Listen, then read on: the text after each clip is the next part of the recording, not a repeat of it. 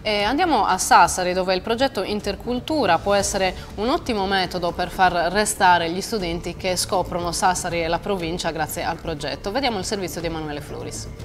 I ragazzi di Intercultura in visita a Sassari per una settimana, adolescenti di diverse nazionalità che già studiano in Italia per il loro anno di soggiorno all'estero ora vedono il capoluogo turritano per la prima volta. Questo consente loro di provare a vedere come funziona in un'altra scuola, di un'altra città, come funziona stare in un'altra famiglia, anche se solo per una settimana, e possono scoprire diverse tradizioni e culture di un altro posto. La prima tappa del tour è il padiglione Tavolara, accompagnati da chi ha lavorato per la riapertura del museo dopo anni di inattività. Li abbiamo portati a Tavolara sia perché è una restituzione recente alla città, ma soprattutto perché secondo me ha uno spirito così contemporaneo questo immobile, questo edificio che non può non piacere ai giovani che vengono qui da tutto il mondo. Dalla Turchia al Giappone, dalla Danimarca all'Austria, i teenager scoprono gli allestimenti e la mostra dell'artigianato. È una bella esperienza, è, è bello per tutto il mondo, devo vedere cose così.